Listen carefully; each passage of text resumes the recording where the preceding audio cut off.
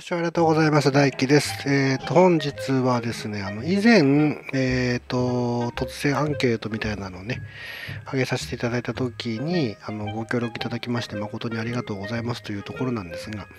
えっ、ー、と、具体的にあの、ご要望をいただいている件がですね、最近の動画でいくつかありましたので、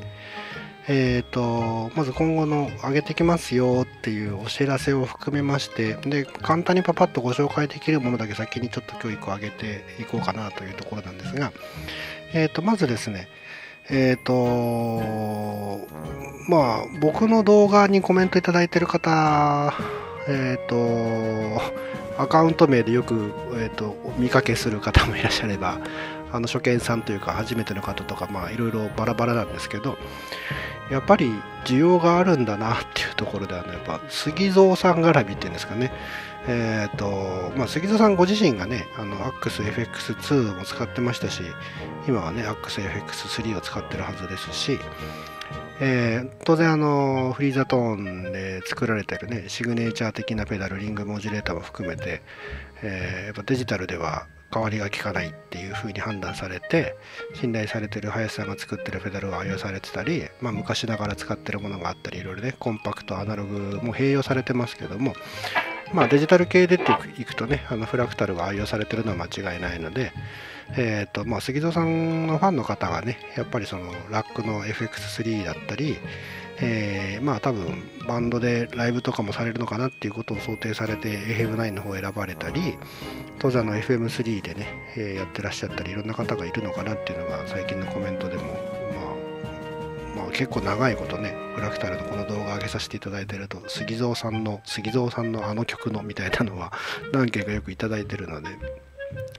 で、え、ー、と今回いただいてたのはえっ、ー、と、ちょっとあの詳しくなくて申し訳ないんですけども、まあ、ルナシーのバンドさんの方の、これまあ、螺旋っていう読み方でいいんですかね。アルファベットで書かれてましたけども、まあ、それの具体的にこの辺の音色がなんていうのがありまして、で、あの動画の方は確認させていただいて、えっ、ー、と、おっしゃってるところは多分まあ、スライサーなのか、トレモロなのか、まあ、どれものをスライサー的にしてるのか、本当にスライサーを使ってるのか分かんないんですけど、まあ、そういったニュアンスのところと、まあ、あとやっぱりリングモジュレーターなんだろうなっていう感じが分かったので、えー、ただまあ、せっかくなんでね、ちょっとあの、今現時点の僕が FM9 に使い慣れてきたっていうところも踏まえて、まあ、こんだけ需要があるんであれば、ちょっとあの自分なりにガッチガチに杉蔵さんのですね、サンドメイクを FM9 の中だけでできないものかっていうのをちょっとやってみようかなと思うので、えー、それに合わせて、このまあ螺旋のですね、え、音色も紹介しようかなと思いますので、ちょっとだけお待ちいただければなと思うんですが、まずこちらが1件と、あとですね、えっ、と、FM3 を使ってらっしゃるとユーザーさんの方から、えっ、ー、と、ギターの音がレギュラーチューニングの時に半音下げチューニングの音を出せる設定があれば知りたいですっていうことで、まあ単純におそらくあの、えー、ギターのチューニングを変えずにフラクタルの中だけで疑似的に半音下げの音出せないんですかっていうようなお話なのかなっていうことと、えーと、コンパクトエフェクターとかを併用するためにそのまあ FM3 を使ってらっしゃるそうなんですけど FM3 にセンドリターンで、えー、まあ外部のエフェクターを使用する際の、まあ、接続的なこととか設定的なことが、えー、知りたいですなんていうことだったので、まあ、これもねあの紹介しようかなというとこで。とりあえずあの取り急ぎあの半音下げチューニングについてっていうのはもうすぐご紹介できるので、まあそれをちょっと今ご紹介させていただいて、で、コンパクトエフェクターに関しても口頭というか、このレイアウト上で説明はできるんですけど、あの、若干ですね、こういう設定がっていう話があって、で音が違ってるっていうのが聞いていただけた方がいいかなと思うんで、実際にちょっと僕の FM9 にあの手持ちのコンパクトエフェクターをセンドリターン的に外部につないでこうなりますよっていう方がいいかなと思うんで、まあ、それはあのこの動画ではなくて別な動画でというところで、えー、なのでとりあえずですね、えー、と半音下げのえまあ、ドロップチューニングっていうんですかね、まあ、もしくは疑似的なカポをですね、チューニング上げていくっていう方向も含めて、えご紹介していこうかなと思いますので、よろしくお願いいたします。えー、ということで、まずご覧いただいてますレイアウトは、あの以前の僕が使ってるレイアウトの中の1個ってことでね、ハイゲン2024ワウなんていう名前付けさせていただいてますけど、そちらのレイアウトのままになってまして、えー、たまたまシーン6なんでちょっとハイゲインというか、まあ、一番、まあ、このプリセットの中では一番歪んでるってことですね。で、えっと、前回も言ってましたけども、えっと、まあ、僕のレイアウト上だと、あの、ここに、まあ、シャントを1個開けてたり、こっちもシャントに余裕があったりっていうのは、何かあった時にずらせるようにってことで、えっと、実際にまあ、これをですね、えっ、と、フラクタルの中で疑似的にチューニングを下げるっていうと、このピッチブロックっていうのを使うことになりまして、で、AXE FX3 のラックの頃だとね、ピッチブロック2個いけるんですけど、FM3 と FM9 はピッチブロック1個しか立ち上げられないので、まあ、これを実際にですね、この頭の方にずらしてきましたよっていうのが、えっ、ー、と、こちらバーチャルカポデモってことで、さっきのこのピッチブロックがなくなって、えー、順番1個ずつ入れ込んでって、ど頭にピッチブロック持ってきましたよっていう状態になります。もともとだとね、ディチューンって設定になってたんですけど、えっ、ー、と、新しくですね、このいろんなこうピッチブロックの中に種類があるんですけど、えっ、と、効果的にはまほぼ同じなんですけど、えっ、ー、と、フラクタルさんが、いつの頃だったかな、途中のアップデートぐらいから、もうそれそれ用にってことで、一応あの、バーチャルカポっていう名称のタイプをですね、用意してくれてて、まあ、疑似的なカポってことですね。で、これ選んでいただくのが一番手っ取り早いと思います。で、音的には、あの、このアドバンスドワーミーってやつでも同じこといけるんですけど、まあ、聞き比べしていただいてってとこですかね。なんで一応まこっちもちょっとやっときましょうかね。アドバンストワーミー。えー、こんなもんですか？で、こっちもじゃあ同じぐらいにしときましょうか。はい。で、えっ、ー、と、フラクタルさんのやつに限らずなんですけど、えーと、この、まあ、ピッチブロック使ってチューニングを下げるためにバーチャルカポもしくはアドバンスドワーミーを使うよってなった場合は、極力、えーと、推奨されてるのは、まあ、ギターのインプットブロックの直後ですね。まあ、その自分が使ってるレイアウトのドア頭に持ってきたよっていうのが一応推奨されててで、それは後ほど音聞き比べてもらうと、あ、確かになってわかるかなと思いますんで、まずそこに持ってきていただいて、で、バーチャルカポを選んだとします。これ FM3 でも選べるはずなので、で、ここのカポの部分ですね。えっ、ー、と、通常だとこれがまあ0になってて、何も音程変わらないよと。で、マイナス方向に行くと半音単位で、マイナス1が半音下げチューニング、マイナス2が1音下げチューニング、これ1音半っていうような感じになります。で、このデチューンっていうのは、えっ、ー、と、まあ、揺らぎみたいな効果になっちゃうんで、あの、これ、セント単位でこうやってこう変えられるんですけど、変えると本来の音程とは余計ずれるものが出ますから、基本的にはよほど変なこだわりがなければゼロのままでいいと思います。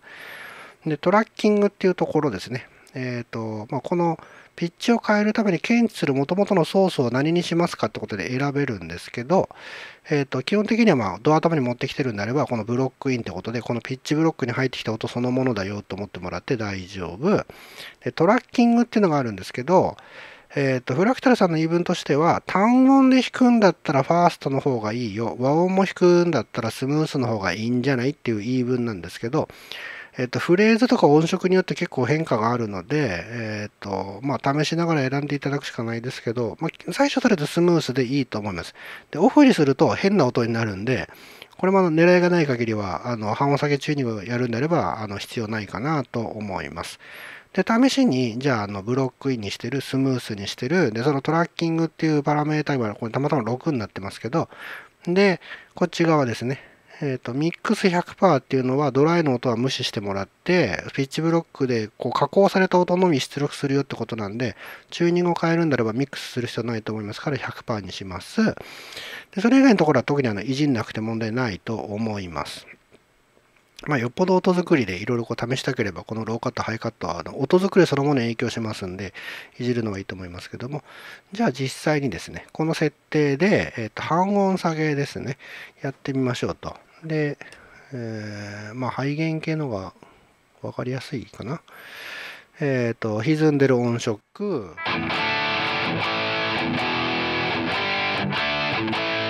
で、いつもだとね、喋りながらご説明させていただいてる兼ね合いで僕のこのヘッドセットのマイクが生音拾ってんですけど、これやっちゃうと生音ノーマルチューニングの音が入っちゃって加工された音が半音下げて気持ち悪くなるんで、ちょっとマイク切りますけれども、ここのピッチブロックが光ってる時は聞いてます。黒、まあ、光ってなければ、バイパスの普通の元の音だと思っていただいて、ノーマルのチューニングのそのままのいつも通りの音と、半音下げの音、ちょっと聞き比べをしてみてください。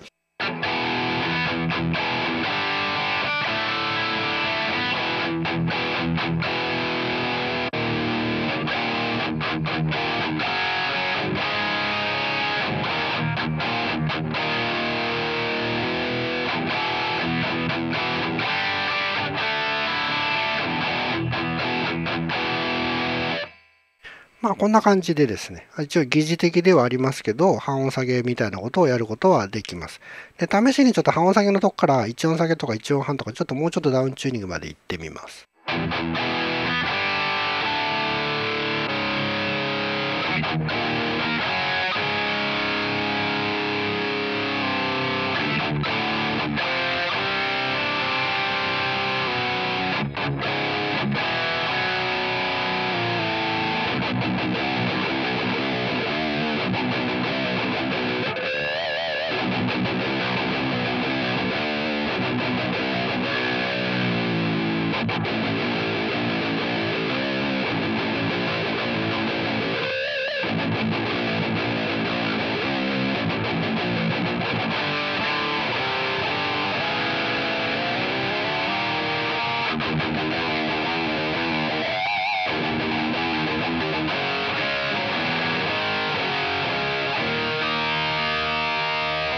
まあ、ということで、えっ、ー、と、一応まあ、うん、疑似的にね、えー、機械の力で強制的に、まあ、あの、重力を下げることは可能ですし、まあ、ポップスとか弾かれてるとね、最近、あの、エレキだけど、カポを使う曲って、ここ数年すごく、結構は、ね、特に人気の曲だとあったりしますし、バンドさんによっては結構多用されたりもしてますけれども、えっ、ー、と、逆方向にね、あの、上げていくってことも可能で、上げていくとクランチとかの方がいいですかね。はい。じゃあこれでちょっと今度上げていく方向ですね。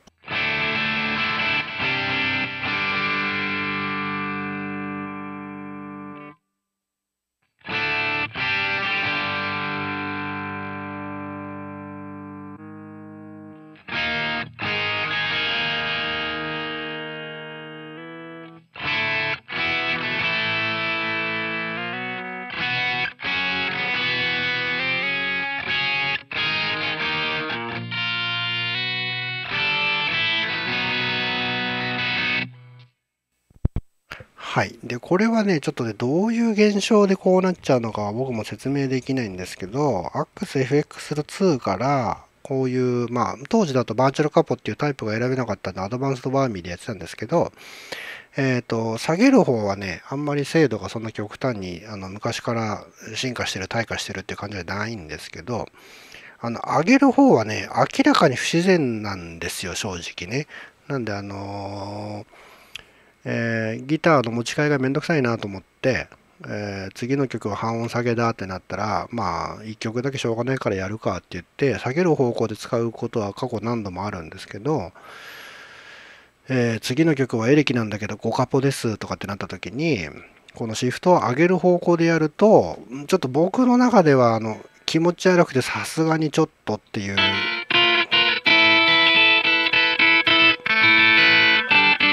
感じがするので、えー、あんまりおすすめはしないかなと。で上げる方向でこのね、ピッチのタイプとかトラッキングもいっぱい試したんですけど、あんまりちょっとね、ダメな気がするんで、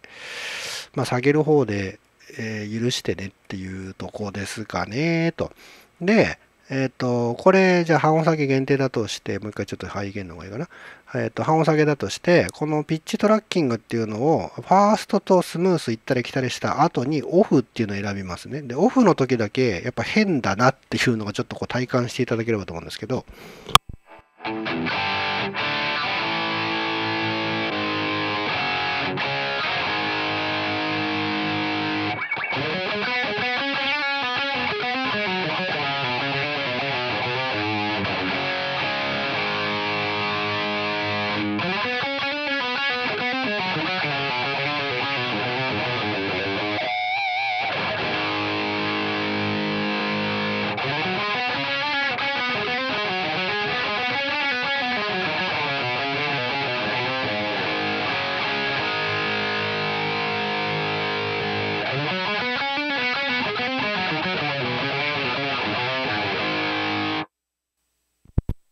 いうことで、あの、オフにするとなんかね、こう、レイテンシーの問題なのか何なのかよくわかんないですけど、えー、なんかディレイかかってるみたいな変な感じの音になっちゃうんで、まあ、純粋に半音下げで使うんであれば、あの、試しながらスムースとファーストどっちか選んでいただいて、でトラッキングは、えっ、ー、と、フラクタルサイドはですね、じゃあの、この5が標準だよっていうことで、まあ、こっから試してねっていう感じらしいんで、まあ、ここからやっていただいて、もしあの、ご自分で少なくしたり増やした時になんか、こっちの方が気持ちいい、引き心地があれだなっていうのがあれば、それでまあ、えー、長官上選ぶので十分じゃないかなと思います。で、一応あの、ご注意いただきたいなっていうのは、これその昔、だいぶ前ですけど、え、ー、と、ピッチブロックのハモリみたいなセッティングの時にも同じような話させていただいてるんですけど、えっ、ー、と、フラクタルのこの音程検知のですね、精度はあのだいぶ高いので、そのギターで鳴ってる音をわりかしシビアに判断して、今この音が鳴ってるなって検知するので、えっ、ー、と、結構強めにピッキングするような、本当もうだいぶ強いっていうのをこれ指してますけど、そうするとですね、あの、ギターっていう楽器の構造上、最初のアタックの瞬間だけバーンって強く弾きすぎると、音がシャープして高いっていう音が出ますんで、えっ、ー、と、あまりこうね、パワーヒッター的なピッキングはしない方が、綺麗に音程は出るかなというふうな気がいたします。で、補足程度に、これ同じことを、えー、このアドバンスドワーミーっていうのでやったらってやつですね。えっ、ー、と、ワーミーブロックがこのアドバンスドってやつとクラシックっていうのがあって、まあ単純にこっちのクラシックっていうのは普通の、えー、ワーミーをね、どういう設定にしますかってやつなんですけど、えっ、と、アドバンスドワーミーっていうのは、さっきのと一緒で、えっ、と、自分でその可変域を決められるっていうタイプのワーミーになってて、なんでこれが作動した時に、えっ、ー、と、もうこのスタートとストップっていうのを同じこの設定にしてあげれば、要はその状態が維持されるってことなんで、これスタートとストップ両方マイナス1にしてますから、これでも結果的にあの半音下げチューニングっていう状態になりますね。まあ、便宜上これも5にしましょうか。で、こっち C ですね。半音下げチューニング、えー、リチューンなしのトラッキング5、マイナス1、かかりっぱの前提で5ですね。条件ほぼ一緒です。これでもし聞き比べして違和感が、まあ、ご自身の中で感じるかどうかって話ですね。では。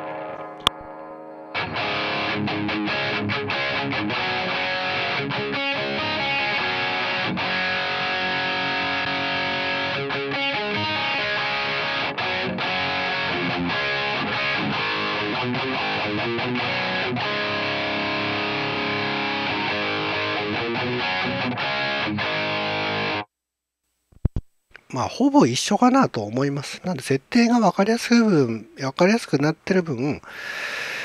FM3 の現行品だってことであれば、もう、まあ、バーチャルカポでやっていただくのがいいかなと思います。で、余談でございますが、えっ、ー、と、同じようなことを狙ってる、まあ、単品の商品でいくと有名どころで、デジテックさんのドロップっていうのがあって、えー、みんな大好き、えー、サンドハウスさんの画面ですが、えー、デジテックドロップってことで、今だと3万800円入荷未定になってますね。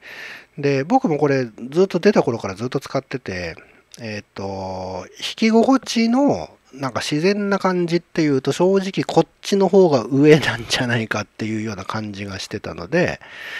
えー、特に AXFX2 を使ってる頃は、まあ半音下げのためだけにこれもインプットにぶっ刺しといて、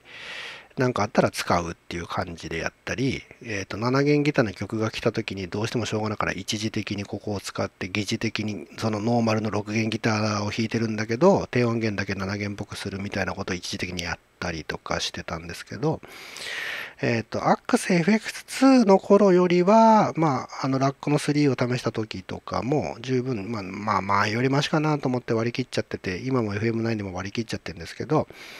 えっ、ー、と、もし本当に純粋に半音下げ、特に、なんていうんですか、えっ、ー、と、ギター1本だけなんだけど、半音下げとか1音下げの曲を1回のライブの中で頻繁にやるっていうことであれば、正直あの中古とかでこれ探していただいた方が、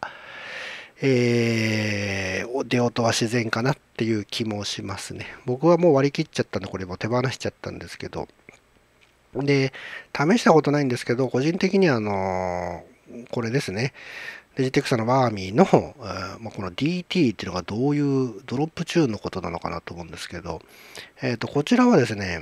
あのー、これででかくなるのかな？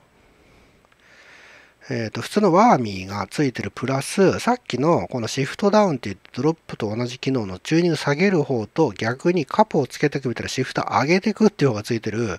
まあ、全部入りみたいなのがあって、で、こっちに上げていく方は実機でまだ僕試したことないんですけど、多分これが一番現行品だと下げたり上げたりするときには、まあ、割り切って使えるっていう中では一番いいかなっていう気がしますね。評判見てるとあのニューラル DSP さんの最近のアップデートで入ったトランスポーズもだいぶ精度がいいみたいな感じでございますけど、えっ、ー、と、ケンパー使ってる頃に、えっ、ー、と、同じようにチューニング下げるようなことをケンパーの中だけどできたんですけど、あの、下げる方はね、やっぱそんなに違和感、まあ、なんつうか、違和感はあるんですけど、許せる範囲の違和感っていうか、だから、えっ、ー、と、まあ、手元にもニューロ DSP 君がないので、新しいトランスポーズ僕実機では試せてないんですけど、えっ、ー、と、ケンパーでもフラクタルでも同じような感じで、チューニングを下げる方向の処理っていうのは、まあ、ある程度妥協して、えー、まあ、特にライブで使うっていうことであれば、あの、まあ、許せる範疇かなと。まあ、シビアな方は多分どうしても許せないってなると思いますけど、そうじゃなければ、まあ、この程度でいいんじゃないかなというところですね。ということで、とりあえずね、えっ、ー、と、そのセンドリタについては別の動画でまた必ずご説明していこうと思いますんで、まあ、取り急ぎその半音下げ、もしくは1音下げ等される場合は、えー、ピッチブロック頭にね、えー、バーチャルカップの設定をやっていただいて、まあ、お好きなそのまあシフトをやっていただけるといいかなと。で、最後に、えっ、ー、と、これ後ろに入れたらどうなっちゃうのってことですね。あの、明らかに変わります。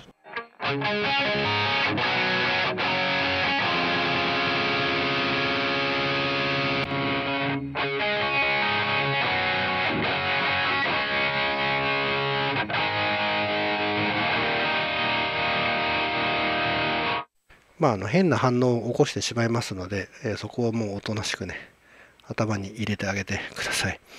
まあ、あの、もともとね、ギターのチューニングを変えるっていう前提で考えていただくと、結局入ってくる信号が半音下がってるっていうことが自然なので、半音下げた状態で、それ以降のブロックに流れていくっていうのが、まあ、えー、まあ、フラクタルさも推奨してますし、デオド的にもそれが一番かなと思いますので、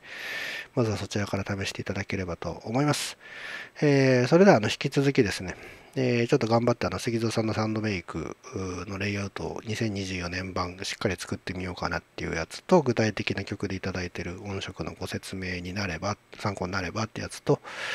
えっ、ー、と、コンパクトエフェクターのセンドリターン絡みですね、えー、併用する場合のっていうことでね、えー、あの取り急ぎまた動画を上げていければなと思いますので、お時間ありましたらまた今後ともご覧いただければと思います。それでは本日も動画のご視聴ありがとうございました。大輝でした。